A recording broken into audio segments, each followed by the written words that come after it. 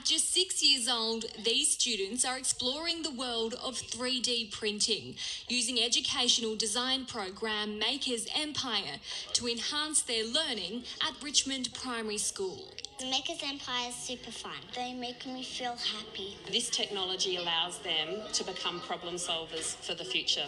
The software, created by the Adelaide startup company in 2014, is targeted at students from kindergarten to year six, giving teachers an easy tool to teach design and technology. They've had to design buildings, so they've drawn that on 2D on paper, and now they're bringing that to life in a 3D form. Now, Makers Empire is getting a $300,000 boost from the state government, equipping more students with 3D printing skills, an investment that's set to benefit the future of STEM in South Australia.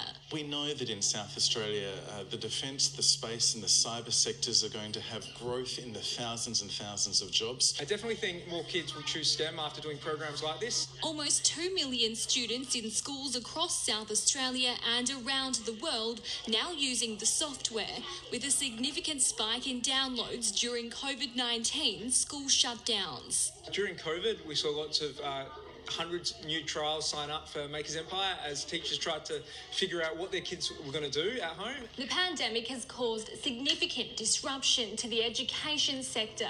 It's hoped the cash injection will allow Makers Empire to launch more pilot programs in more schools, both here and overseas. If they can learn this type of thing at primary school, uh, who knows what they'll be able to do at high school and beyond. The funding boost will create more than a dozen local jobs within two years.